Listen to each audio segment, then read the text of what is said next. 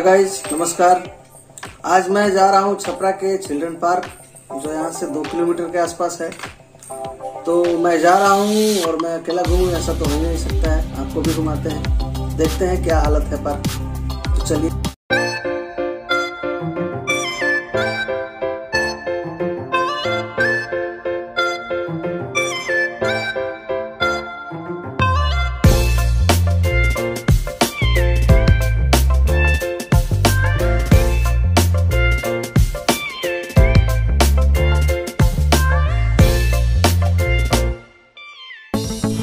नमस्कार दोस्तों, मैं हूँ अमित और स्वागत है आपका ट्रैवलर इंसान में। आज हम हैं छपरा में और छपरा में भी हम बहुत ही खास जगह पे हैं, जिसका नाम है चिल्ड्रन पार्क। ये पार्क के ठीक सामने आप देख रहे हैं, ये तालाब। छपरा का ये मेरे समझ से एकमात्र पार्क है, जिसमें बच्चों के लिए कुछ खेलने की जगह बनाई गई है। तो आइए इसे घूमते हैं और शुरू कर लेते हैं आज का वीडियो। लेकिन अगर आप चैनल पर नए हैं तो कृपया चैनल को सब्सक्राइब करें, बेल आइकन प्रेस करें और वीडियो देखें, अच्छी लगे तो लाइक करें, कमेंट करें और अपने यार दोस्तों में शेयर करें।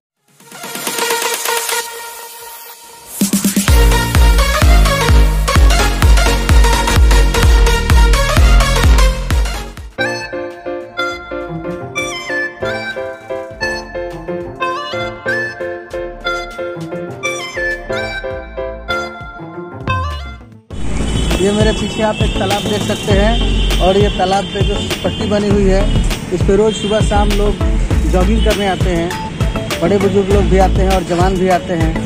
बच्चे का तो पार्क ही है तो फिर इसमें कहना ही क्या है? और ये बगल में मेरे पीछे एक और स्लाइडर आप देख सकते हैं, उसकी स्थिति कुछ अच्छी है। और ये सामने ये मेन गेट है, जो कि अभी कोविड की वजह से बंद है। हालाँकि इसे खोल देना चाहिए, क्योंकि अब तो नहीं लगता है कि कोविड है यहाँ पे। लेकिन फिर भी बंद है। बाकी यही है। वैसे बहुत बड़ा पार्क तो नहीं है, लेकिन फिर भी जितना भी है, यहाँ के लिए उतना ही है। ये कहना तो नहीं चाहिए, लेकिन फिर भी जो है, वो तो आपके सामने है। ये आप देख सकते हैं, ये स्लाइडर है। हालाँकि, आइए इधर। ये स्लाइडर इतना नहीं लगता है, जैसे कि इस पर धूल मिट्टी जमी हुई है। क्या स्थिति है स्लाइडर की, आप देख सकते हैं। इस पर थोड़ा सा यहाँ के जो भी इंतजामिया लोग हैं, उनको ध्यान देना चाहिए।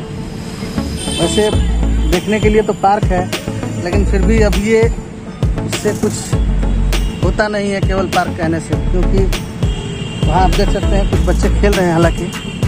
लेकिन फिर भी जो भी है, पार्क कहराने लायक तो है नहीं।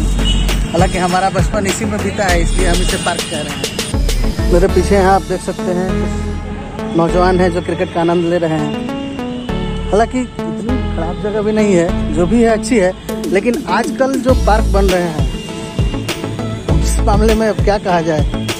जो पार्क कहलाने लायक आज जो जगह बन रहे हैं, उसके अनुसार तो ये पार्क नहीं लगता है। ऐसे कुछ खुला जगह है जिसमें लोग चिल करने आते हैं। अच्छी बात है शहर वालों के लिए।